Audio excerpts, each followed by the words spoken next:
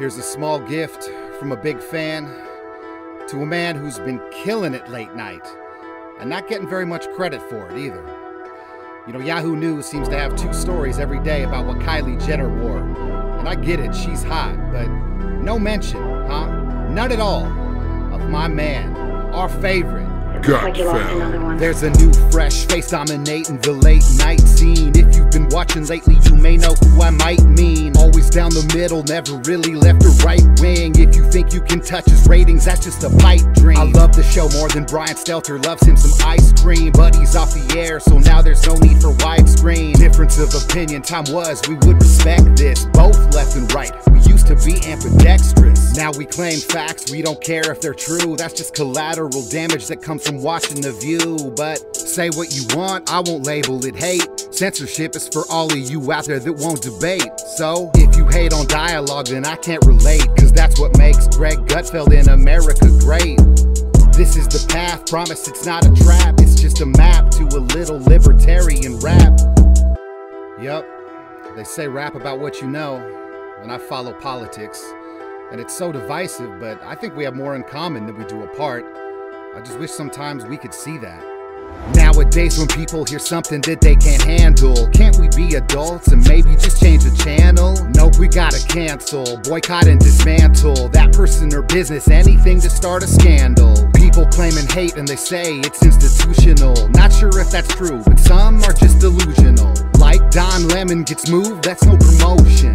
Time down to the mornings, that's a demotion. Now trying to save face, he's all like, we'll see. Man, that'd be like Gutfeld dropping to kill me. But Greg's different, tries to bring us together. If you keep lying, Don, you may be doing the weather. We know you're not sorry, there's no need to be repentant. Just keep doing what you do, sunlight's the best disinfectant. And if why you're losing viewers isn't obvious yet, just take a look at how your network covered Jussie Smollett. I mean, it's just obvious, blatantly obvious. Not much slant on Gutfeld. I don't see it. Could be just me, but the ratings prove it. One of the reasons the show deserves the high praise. They take the facts, don't need to twist them sideways. So when I just wanna laugh and have it my way, I roll with Greg and his leftovers on Fridays. Some people lose their mind when their cages are rattled. If you point to Chicago or even look at Seattle, nah, not on the show, they're all ready for battle. Funny,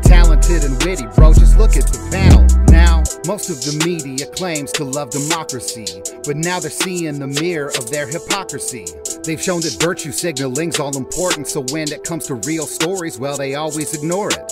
This game may be rigged, I don't know how to score it, but whatever it is, we'll never give up or forfeit. We've got real problems, politicians ignore it. It's like if you can't afford it, then tell me why are you for it? It's like, it's just frustrating.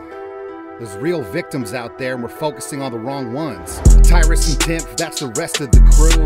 And this rap is giving props and the credit that's due. So keep it up, Greg, cause you're one of the few. Coming up with content, always clever and new.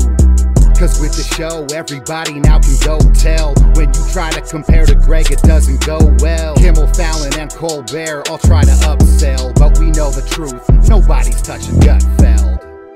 Yup. Love Jimmy Failla, Jamie Lissow, Joe Machi, Joe DeVito. All you guys are funny. But Greg, you're the best. You ever need a rap for the show? Holla.